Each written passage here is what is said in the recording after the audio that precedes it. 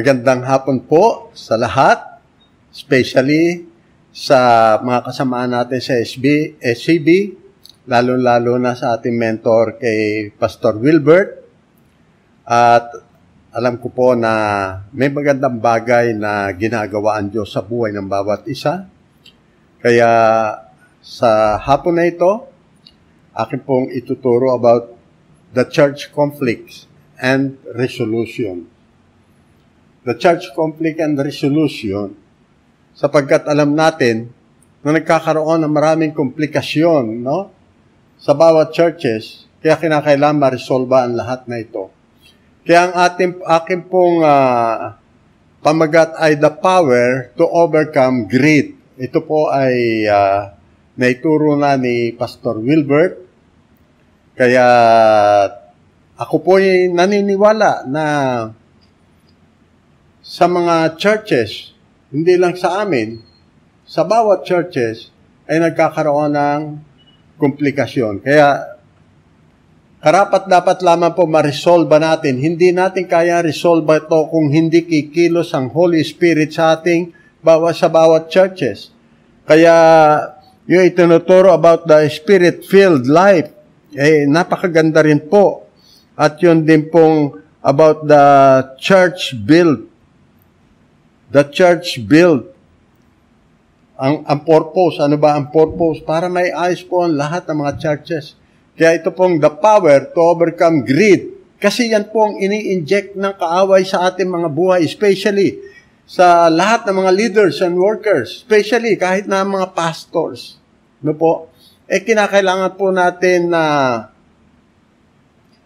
ma, ma, ma-counter natin ang lahat at maunawaan natin para tayo po ay patuloy na anuman komplikasyon na ginagawa ng kaaway sa atin ay ma-overcome natin.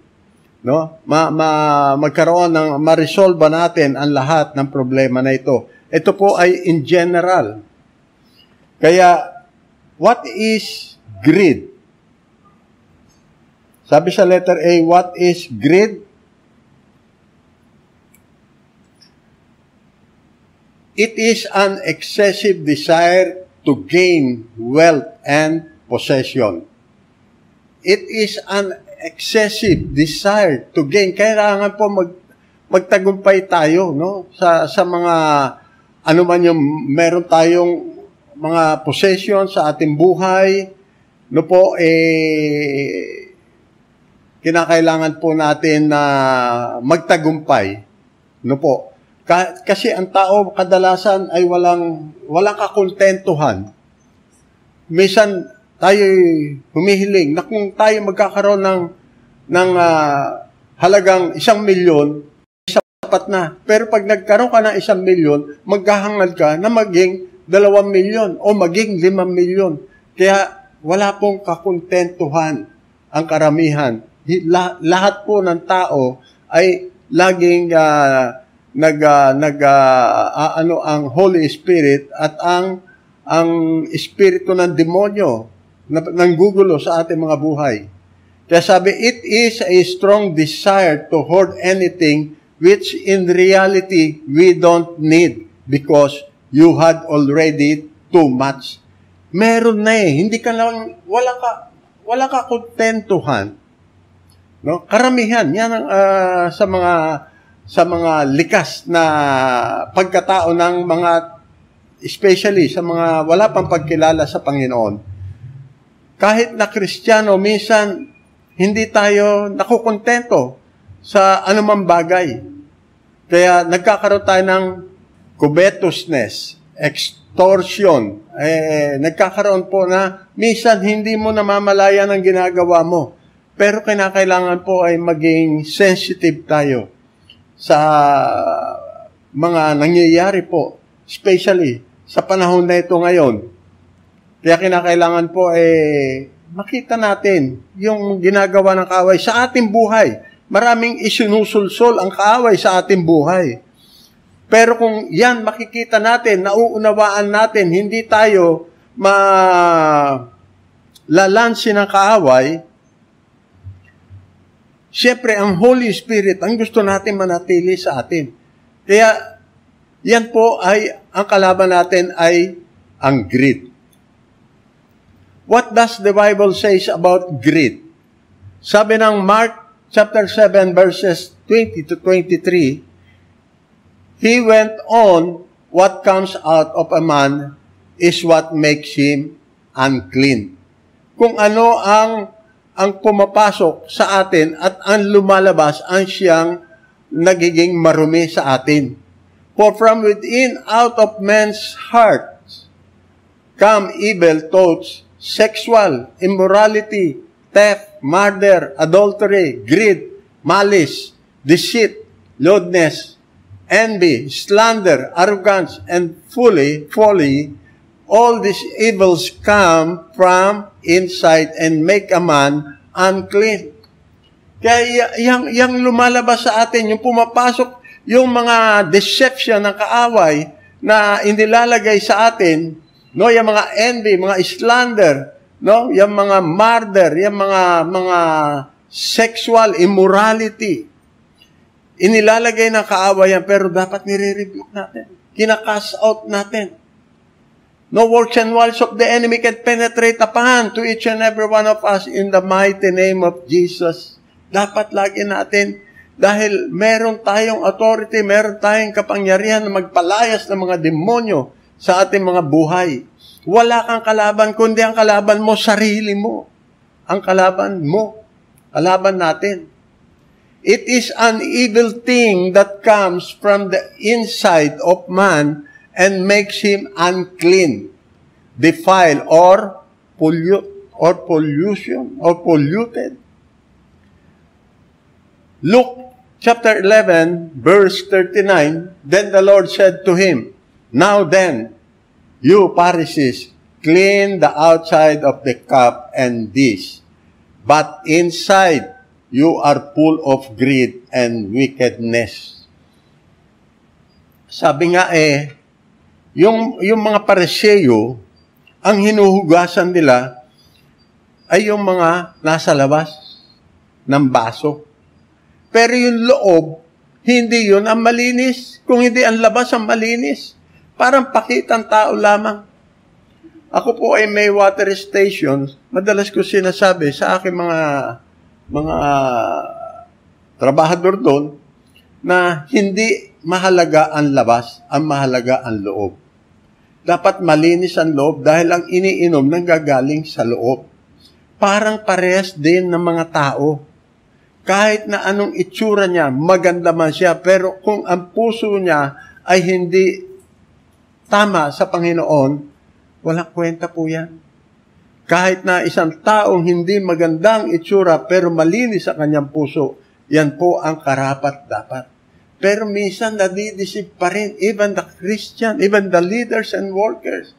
Nagkakaroon ng inggitan, nagkakaroon ng mga tampuhan, nagkakanya-kanya. May, may, may umaalis na hindi mo alam na yun pala ay merong mga pangyayaring uh, hindi maganda.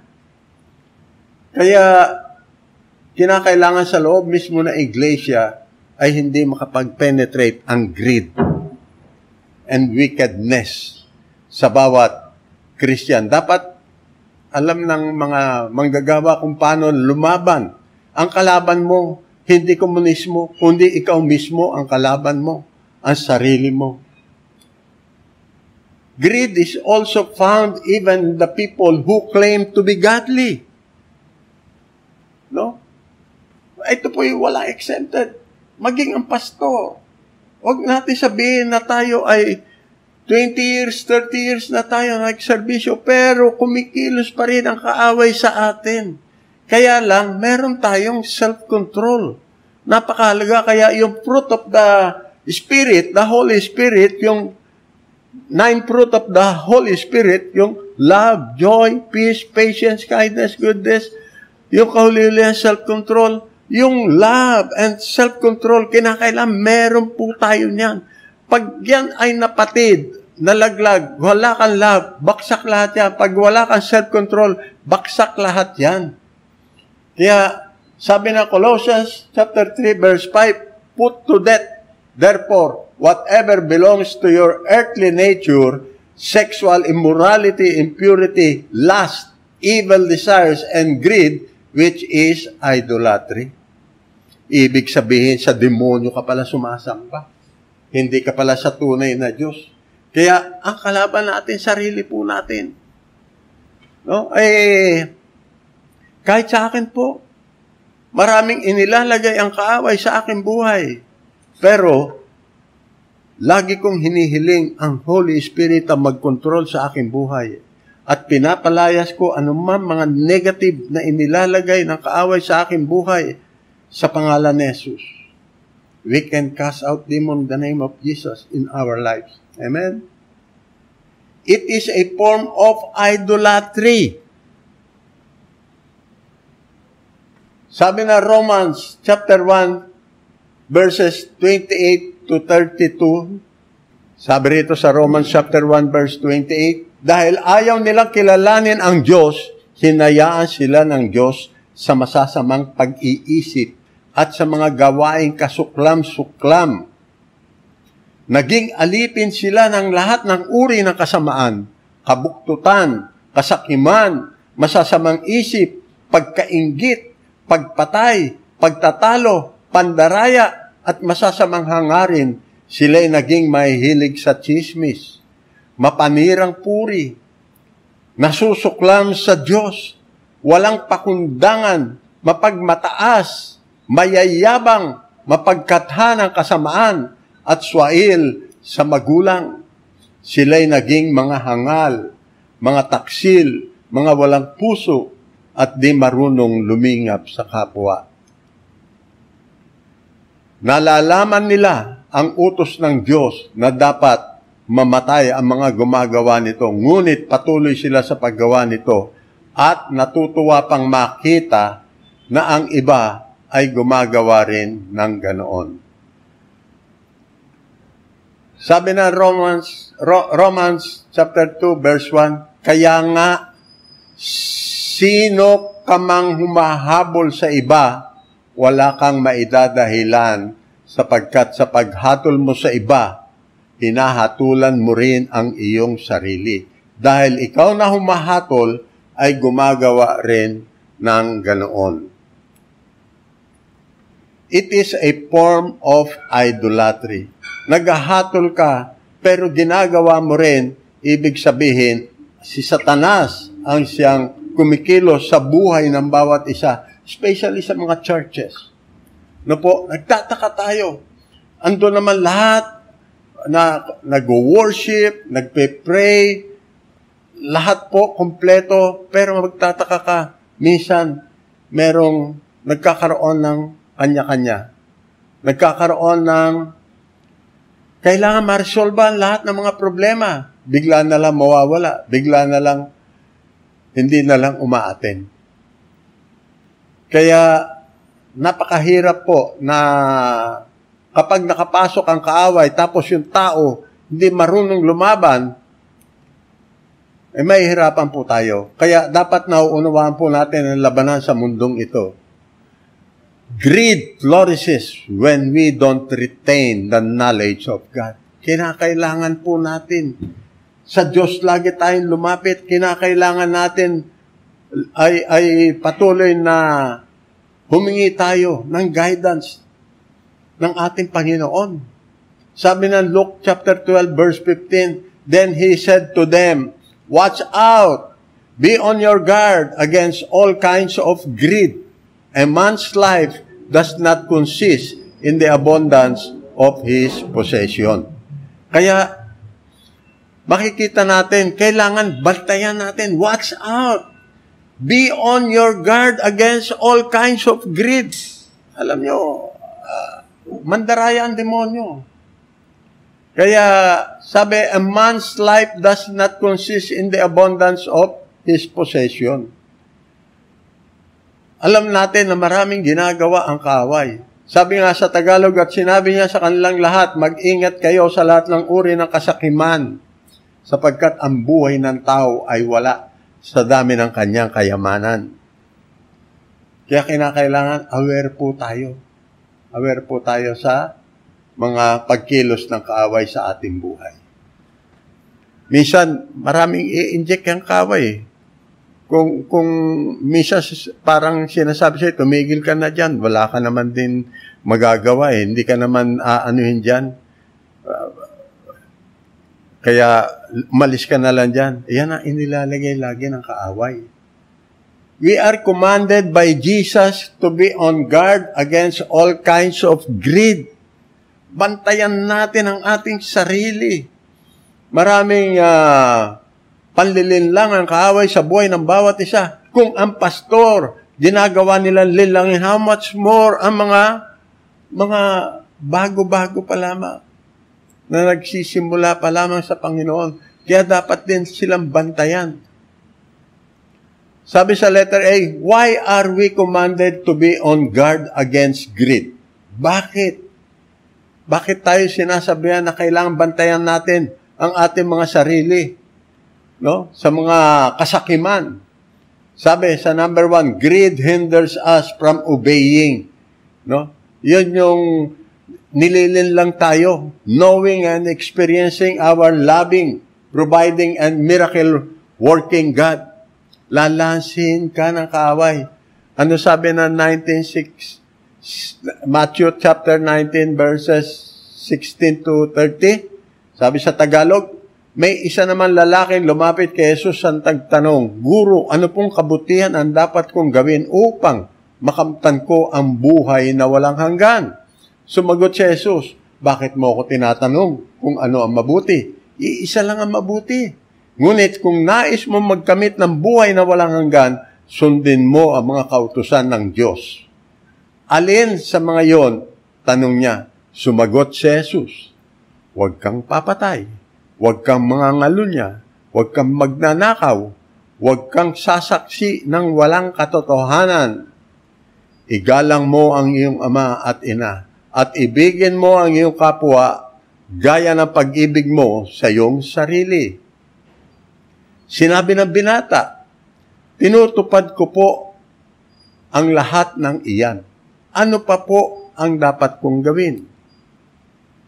Sumagot si Jesus, kung ibig mong maging ganap, ipagbili mo ang lahat ng iyong ari-arian at ipamahagi sa mga mahihirap ang pinagbilhan. At magkakaroon ka ng kayamanan sa langit pagkatapos bumalik ka at sumunod ka sa akin. Pagkarinig nito, malungkot na umalis ang binata sapagkat siya ay napakayaman. Siya ay napakayaman. Sinabi ni Jesus sa kanyang mga alagad, tandaan ninyo, napakahirap sa isang mayaman ang makapasok sa kaharian ng langit. Inulit ko, inuulit ko, mas madali pang makadaan sa butas ng karayom ang isang kamelyo kaysa makapasok sa kaharian ng Diyos ang isang mayaman. Totoo po, mas mabuti pa pumasok sa butas ng karayom ang isang kamelyo kesa makapasok sa karya ng Diyos ang isang mayaman. Kasi ang mayaman, nakatingin na yan sa kanyang kayamanan. Hindi naman natin kailangan na mayaman na mayaman. Ang kailangan lamang natin ay makontento tayo kung meron tayo. Alam naman ng Diyos ang lahat ng pangangailangan, especially sa church. Kung tayo'y mga tapat na nagbibigay ng ating ikapu, ano man yung pangangailangan ng church, magugulat ka nandiyan dyan ipagkakaloob ng Diyos. Hindi po kailanman nagkulang ang Diyos sa ating buhay. Pero tayo napakaraming pagkukulang natin. Mahirap kasi pag naging idolatry ka. Ang ginagawa mo ng Diyos ang kayamanan. No, maraming maraming uh, tao pagdating sa kayamanan, kala mo totoong na naglilingkod sa Diyos, pero nakatingin siya sa kanyang mga ari-arian. Sabi rito, nagtaka ang mga alagad ng marinig ito kaya't naitanong nila, kung gayon, sino po ang maliligtas? Sino ang maliligtas? Kaya, Mahirap po pag tayo nakatingin sa mga material na bagay. Alam niyo po, napakasarap pag alam mo ang Holy Spirit na sasayo. Hindi kayang tumbasan ng milyon sa lapi ang pag-ibig ng Diyos. Kapag ka tayo nananalangin, ano man yung mga pangangailangan natin, God will supply. Ang mahalaga, ang Diyos. Lagi natin nararanasan. Kapag tayo nagkakaroon ng service, kapag ka tayo nagkakaroon ng service at hindi natin nararanasan ang pag-ibig ng Diyos, useless po ang ating service. Kaya napakahalaga po na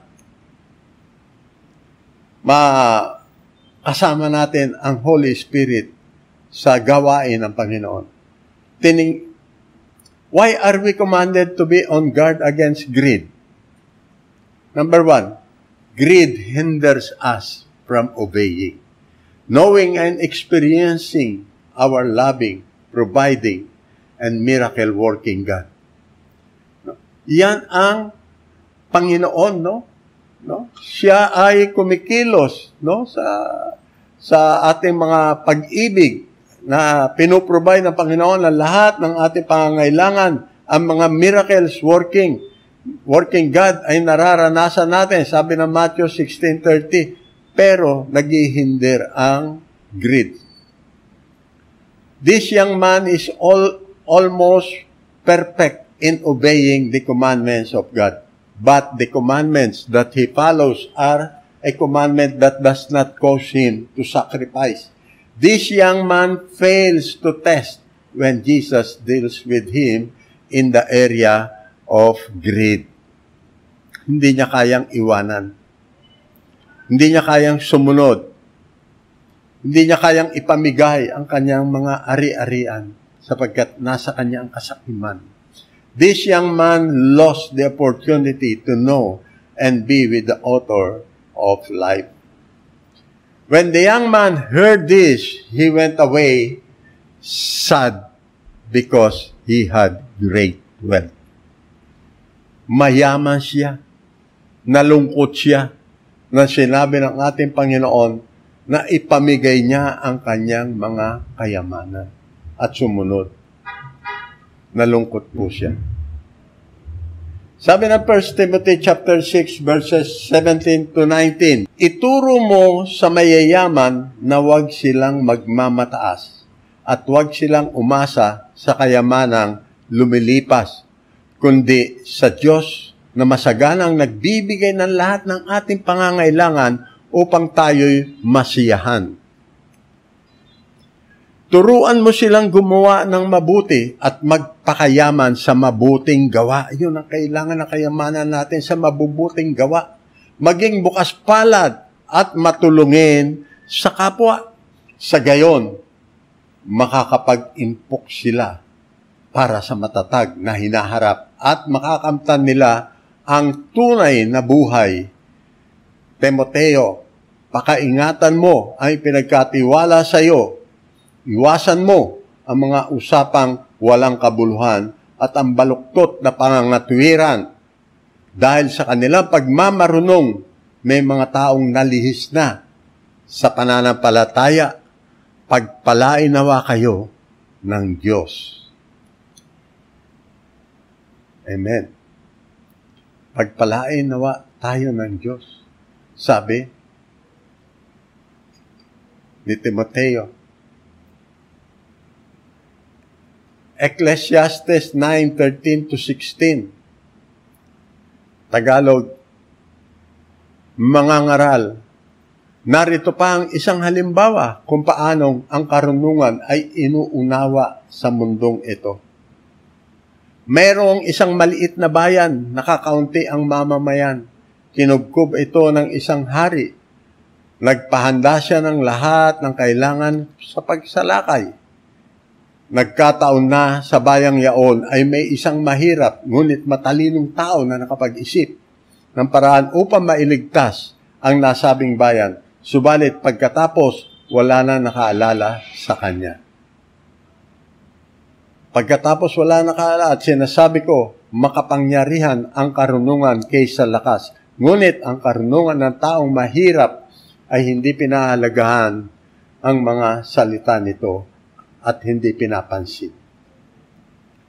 Alam niyo po, totoo, ang mga tao may mga nagagawa, pero huwag niyong isipin ang tao. Hindi mahalaga ang sinasabi ng tao. Ang mahalaga, ano ang kinala, anong kalalagayan natin sa Diyos. Pag sa tao tayo tumingin, wala mangyayari sa atin. Kahit na anong ginawa natin, ang Diyos, alam niya lahat ang ginawa natin. Siya ang magbibigay na reward sa atin. Siya ang magkakaloob sa ating buhay.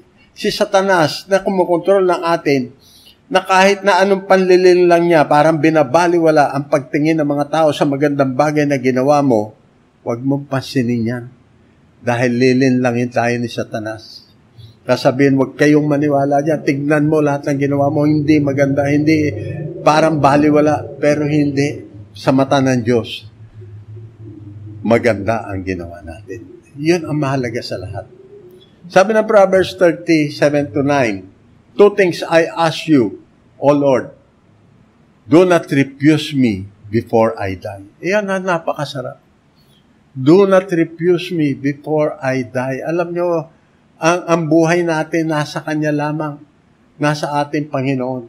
Keep falsehood and lies far from me. Give me neither poverty nor riches, but give me only my daily bread. Otherwise, I may have too much and disown you and say, Who is the Lord? Or I may become poor and still, and so dishonor the name of my God mahirap ma-dishonor ang ating Panginoon. Kaya, ang hiling lang, kung tayo ay saan man lugar, kinakailangan maranasan natin ang presensya ng ating Panginoon. Sabi sa letter A, why are we commanded to be on guard against greed? Sabi na sa number two, greed can bring the wrath of God in our lives. Yan ang sisira sa buhay ng tao. Yung greed. Sabi ng Isaiah 57:17, Tagalog, para mas maliwanag, Naggalit ako sa kanila dahil sa kanilang kasalanan at kasakiman, kaya sila'y aking itinakwil ngunit matigas ang kanilang ulo at patuloy na sumuway sa akin. Mahirap maging sakim, maging greed sa lahat ng bagay. Kaya greed can bring the wrath of God in our lives. Amen? Sabi ng Luke chapter 12, 15 to 21. At sinabi niya sa kanila lahat, Mag-ingat kayo sa lahat ng uri ng kasakiman, sapagkat ang buhay ng tao ay wala sa dami ng kanyang kayamanan. At sinabi niya sa kanila ni Jesus, at pagkatapos isinalaysay ni Jesus ang isang talinhaga. Isang mayaman ang umani na sagana sa kanyang bukirin Kaya't nasabi niya sa sarili, ano ang gagawin ko ngayon? Wala na akong paglagyan ng aking mga ani. Alam ko na ipagigiba ko ang aking mga kamalig at magpapatayo ako ng mas malalaki. Doon ko ilalagay ang aking ani sa ibang ari-arian. Pagkatapos ay sasabihin ko sa aking sarili, marami ko nang naipon para sa mahabang panahon Kaya't magpa, magpahinga ka na lamang, kumain, uminom at magpasarap sa buhay. Ngunit sinabi sa kanya ng Diyos, Hangal, sa gabring ito, babawian ka ng buhay. Kanino ngayon mapupunta ang inilaan mo para sa iyong sarili? Walang paglalagyan. Hindi mo madadala sa langit ang iyong mga kayamanan. Kaya yun tama lang. Ang pangangailangan na, na, natin sa ating buhay ay kayang isupply ng Diyos. Pero wag naman yung sobra. Sobra-sobra. Meron kang dapat na matulungan, hindi mo ginagawang tulungan. Pero ang lagi mo iniisip, ang iyong mga ari-arian, ang iyong mga bukurin na gusto mong lahat padaluin na padaluin, pero hindi ka naman tumutulong sa mga nangangailangan. Kaya ka pinapayaman ng Diyos dahil gagamitin ka ng Diyos upang makatulong sa mga nangangailangan. Pero nagiging masarili Kaya yung mayaman na yon, hindi niya alam na hanggang doon na lang ang kanyang buhay. Yung kanyang pagmumultiply ng kayamanan, saan mapupunta? Ganyan ang sasapitin ng sino mang nag-iipon ng kayamanan para sa sarili, ngunit dukha naman sa paningin ng Diyos. Amen? Dukha naman siya sa paningin ng Diyos. Sabi rito, why are we commanded to be on guard against greed? Number three, greed will give you over and be enslaved to the one who is more greedy than you. Ulitin ko po. Greed will give you over and be enslaved to the one who is more greedy than you. No, kung sino yung sakim, no? Kaya meron pang masakim sa iyo na higit sabi ng Ezekiel 16:27, So I stretch out my hand against you and reduce your territory. I give you over to the greed of your enemies, the daughters of the Palestines, who were stuck by your lewd conduct. Amen? How to deal with our greed? put to death greed in our lives. Patayin natin. Alisin natin. Pero hindi po basta-basta natin naaalis yan. Kailangan ang Holy Spirit, kailangan ang banal na Espiritu ang siyang patuloy na kumilos sa ating puso. Ang demonyo, nandyan lang yan. Nandyan lang yan parang ibon na nandyan sa namumugat sa ating ulunan. At kapag in-entertain mo yan, kumakatok yan. Pag pumasok yan, pinapasok mo, lagi mong iisipin, laging merong sinasabi siya sa iyo na dapat mong gawin. Kailangan, wag po nating ini-entertain dyan. Kinakailangan, pinapalayas natin. Put to death greed in our lives. Amen? Sabi ng Colossians chapter 3 verse 5, put to death Therefore, whatever belongs to your earthly nature, nature, sexual immorality, impurity, lust, evil desires, and greed, which is idolatry. Kailangan po eh, palayasin natin yan. Marami. Alam nyo, napakabigat nung, uh, nung idolatry. Pag sinabing idolatry, ibig sabihin, hindi ka sa tunay na Diyos. Ikaw, ay kampon ng demonyo. Masakit po marinig, masakit sabihin, pero totoo po yun. How to deal with our greed. Put to death greed in our lives.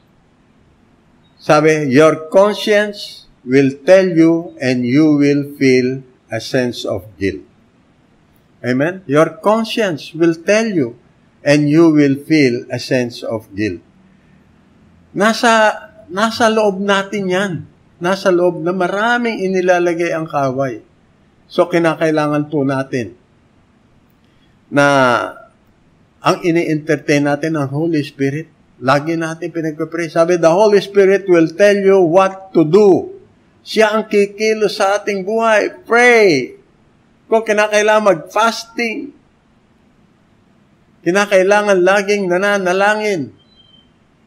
Sabi nga ni Pastor Wilbert, sa tuwing umaga, nagpe-pray. Mas maganda kung lahat tayo nagpe-pray sa umaga. Mula sa pag sikat hanggang paglubog ng araw, tayo lagi nananalangin. Giving those that you heard in obedience to the Holy Spirit is what will put to death your greed.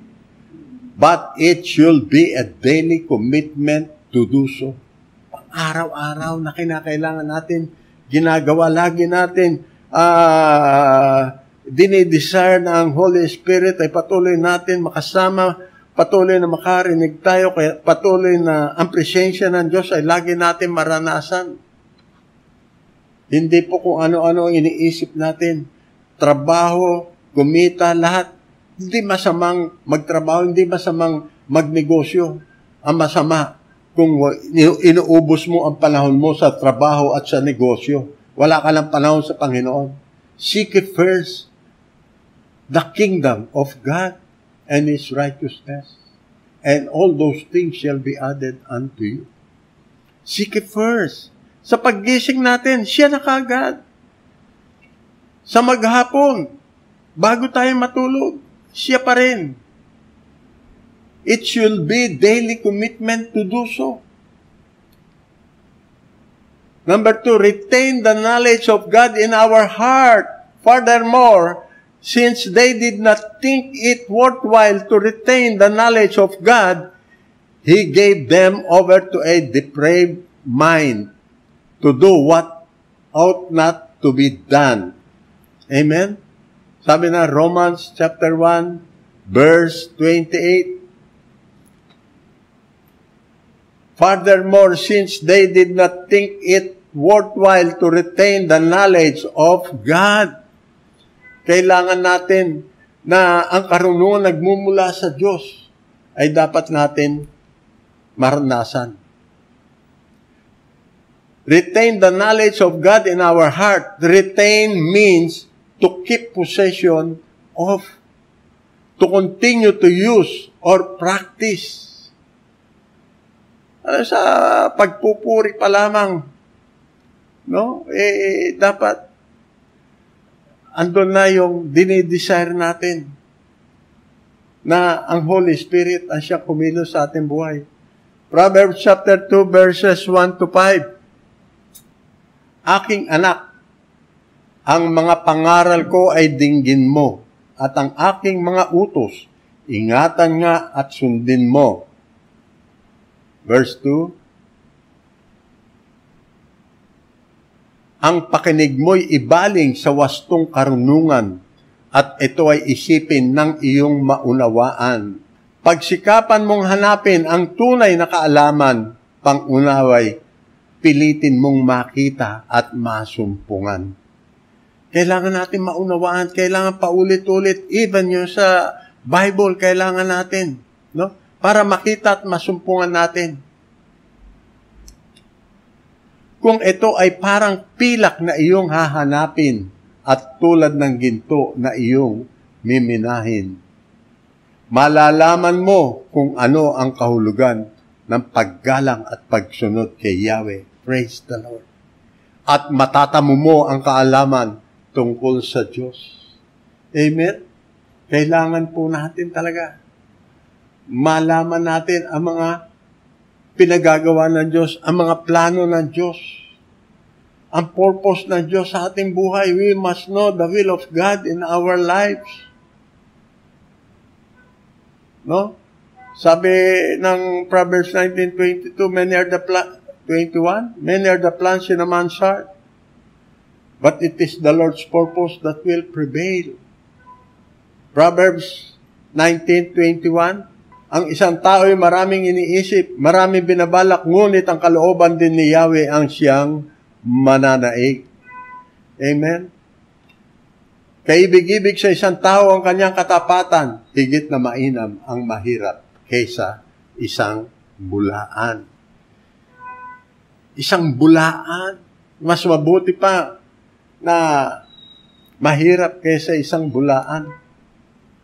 And we pray this in order that you may live a life worthy of the Lord and may please Him in every way. Colossians chapter 1, verse 10.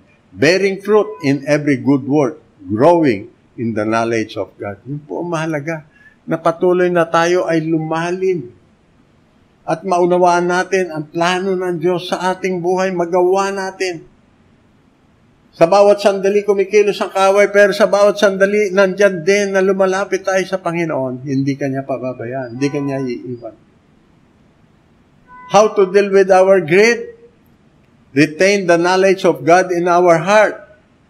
Retaining the knowledge of God in our heart is what will make our lives pleasing to the Lord. Yun ang hinahanap ng Diyos. Yung puso natin kailangan sa Kanya lagi nakakonect. Hindi nakakonect sa pera. Hindi nakakonect sa kayamanan mo. Hindi nakakonect sa mga pagnanasa, lust of the flesh, lust of the eyes, pride of life. Hindi po. Kinakailangan yung knowledge of God in our heart. Retaining the knowledge of God in our heart is what will make our lives pleasing to the Lord. Number three, how to deal with our greed? Being filled with the Holy Spirit. Being filled with the Holy Spirit. Sabi nga eh, the power of the Spirit-filled life kailangan po natin mapag-aralan din yun. Ang sabi na Ephesians chapter 5 verses 15 to 20, Tagalog please. Kaya't mag-ingat kayo kung paano kayo namumuhay. Mamuhay kayong tulad ng matatalino at di tulad ng mga mangmang. Samantalahin ninyo ang bawat pagkakataon na kayo'y makagawa ng mabuti sapagkat punong-puno ng kasamaan ang daigdig ngayon. Huwag kayong maging hangal. Unawain ninyo kung ano ang kalooban ng Panginoon. Amen? Mag-awitan kayo ng mga salmo, mga himno, at mga awiting espiritual. Buong puso kayong umawit at magpuri sa Panginoon. Lagi kayong magpasalamat sa Diyos na ating Ama dahil sa lahat ng bagay sa pangalan ng ating Panginoong Heso Kristo. Amen? Give thanks to God. Hallelujah. Pasakop kayo sa isa't isa bilang tanda ng inyong paggalang kay Kristo. Amen? being filled with the Holy Spirit, having the knowledge of God will teach us what to do. Being filled with the Holy Spirit will empower us to do what the knowledge of God wants us to do. Letter C. What will happen if greed is properly dealt with? Number one, there will be a release of the spirit of generosity. Hallelujah selling their possession and goods they give to anyone as he had need. Something surely happens into their hearts why they demonstrated such spirit of generosity. Sabi na Romans 5.5, And hope does not disappoint us because God has poured out His love into our hearts by the Holy Spirit whom He has given us. Amen. Generosity is the manifestation of the nature and the character of God in us. The spirit of greed is broken. John 3.16, For God so loved the world that He gave His only begotten Son, that whoever believes in Him shall not perish, but have eternal life. Amen? Sabi ng John 1.14, The Word became flesh and made His dwelling among us. We have seen His glory, the glory of the one and only, who came from the Father, full of grace and truth. The Word became flesh, and that is the Lord Jesus Christ. Without Christ, we are nothing hindi tayo makaparorong sa Ama maliban kay Jesus. From the fullness of His grace, we have all received one blessing after another. John 1.16 There will be an enhancement of the spirit of sacrifice. Kaya kinakailangan, merong pagkakataon na kinakailangan tayo mag-sacrifice selling their possession and goods they gave to anyone as he had need. Acts chapter 2 verse 45. Joseph a Levite from Cyprus, whom the apostles called Barnabas, which means son of encouragement. Acts chapter 4, verse 36. When the spirit of greed is broken, we will be able to see and understand that investing in the kingdom of God is far better than everything, anything else in this world. Ulitin ko, when the spirit of greed is broken, we will be able to see and understand that investing in the kingdom of God is far better anything else in this world. Hindi natin kailangan mag-invest ng malalaki kung saan-saan. Sa Lord tayo mag-invest. God is far better than anything else in this world. We will be able to release and sacrifice even those we hold dearly in our lives. Sabi na 2 Corinthians chapter 8 verse 7, But just as you excel in everything, in faith, in speech, in knowledge, in complete earnestness, and in your love for us, see that you also excel in this grace of giving. Amen? Sa pagbibigay. Kapag tayo tapat na nagbibigay, mag-e-excel ka sa lahat ng bagay. Hindi lang sa wisdom. God will seriously deal those who are hypocrite and not true in keeping their financial commitment to the Lord. Alam natin, sa Acts, yung, yung uh, sa Acts chapter 5, meron naman mag-asawa na nagbenta rin ng kanilang ari-arian, si Ananias at ang pangalan ng lalaki at Sapira naman ang babae. Alam natin sila ay nagbenta ng mga ari-arian. Pero, nagsinungaling pa sila. Subalit nagsabuatan ng dalawa at hindi ibinigay ni Ananya sa mga apostol ang buong pinagbilhan. Kaya't sinabi ni Pedro, Ananias, bakit ka nagpadala kay Satanas? Nagsinungaling ka sa Espiritu Santo. Bakit mo binawasan ang pinagbilhan mo ng lupa? Bago mo ipinagbili ang lupa, hindi ba iyo yon? At na may pagbili na, hindi ba iyo rin ang pinagbilhan? Bakit mo naisipang gawin yon? Hindi ka sa tao nagsinungaling kundi sa Diyos. Nang marinig ito ni Ananias, siya'y patay na bumaksak. At lahat na nakabalita sa pangyayaring iyon ay pinagharian ng matinding takot. Lumapit ang ilang binata, binalot ang bangkay at siya'y inilibing. Pagkaraan na may tatlong oras, dumating naman ang kanyang asawa na walang kamalay-malay sa nangyari. Kinausap siya ni Pedro. Sabihin mo sa akin, ito nga ba lamang ang kabuang halagang pinagbilhan mo ninyo ng inyong lupa? Oo, yan lamang, sagot ng babae. Kaya't sinabi sa kanya ni Pedro, bakit nagkaisa kayong subukin ang Espiritu ng Panginoon? Hayan, kadarating pa lamang ng mga naglibing sa iyong asawa at ikaw naman ngayon ang kasunod nilang ililibing. Noon di nabuwal si Sapira sa paanan ni Pedro at namatay. Pagpasok ng mga binata, nakita nilang patay na siya, kaya't inilibing siya sa tabi ng kanyang asawa. Alam po ninyo, mahirap magsinungaling sa Diyos. Pwede kang magsinungaling sa tao, pero sa Diyos hindi ka makakapagsinungaling.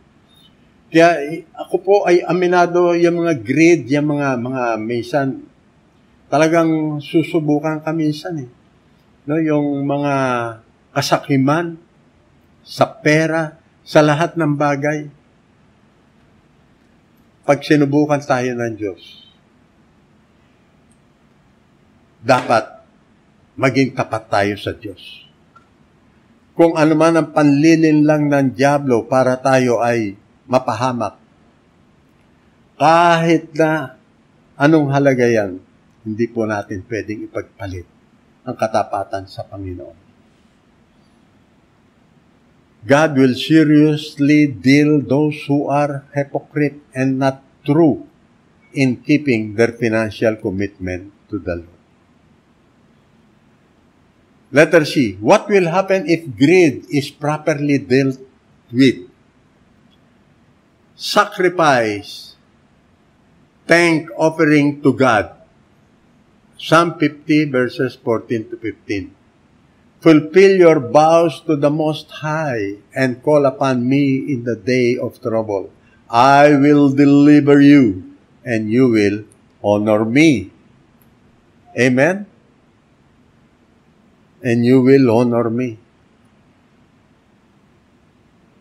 Sacrifice, thanks offering to God. We have to sacrifice our life to God to fulfill your vow to the Most High and call upon me in the day of trouble. And God will deliver you and you will honor God. Amen? Hanggang dyan lamang po at uh, kung kalooban, kung, kung pagpapatuloy pa na, na ipagkakaloob ni Pastor Wilbert na magpatuloy uh, po ako, magpapatuloy po ako. Ako po ay, let's pray. Lord, thank you very much for your word of Father God. I pray, Panginoon, na hindi po mawala po sa amin yung mga greed na yan. Hindi po kami tumingin sa mga bagay na mga nakikita. Titingin kami sa bagay na hindi nakikita. Ito po ay ang Holy Spirit na siyang dapat na manahan sa amin, na siyang kumontrol ng aming buhay. Truly, apart from Him, we can do nothing. Lord, continue to pour out your power upon our lives, O God. The power of knowledge and wisdom be upon our lives. In the mighty name of Jesus. Especially sa kapanahon na nito, hindi po kami dapat manalig sa takbo ng mundong ito, kung hindi sa takbo ng banal na Espiritu na siya maghari sa amin at magawa namin ang lahat ng pinagagawa ng ating Panginoon. Salamat, salamat Panginoon. To you all the glory and thanksgiving. In Jesus' name I pray. Amen. Amen. Were you blessed with the message today? If so, please like, subscribe, and hit the bell button below for updates. Thank you for watching and see you next streaming.